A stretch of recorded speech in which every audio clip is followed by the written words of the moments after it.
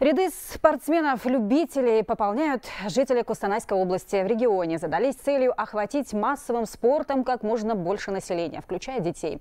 Для этого в городах и селах строят лыжные базы, центры бокса, теннисные корты и физкультурно-оздоровительные комплексы. На эти цели по поручению президента страны перенаправили спортивный бюджет региона.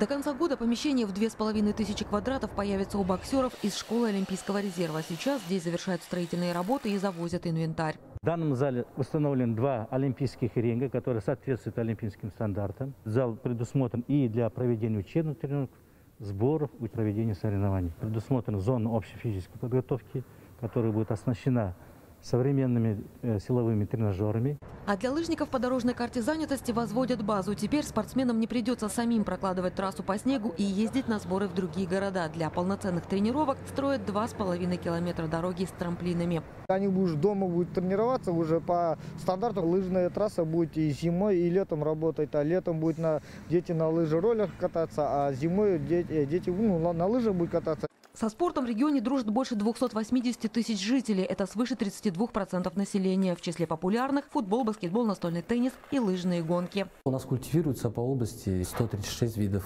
э, спорта. Из них 35 э, видов олимпийских видов спорта, 13 видов национальных видов спорта, 36 видов неолимпийских, 14 технических видов спорта и 40 видов инвалидов.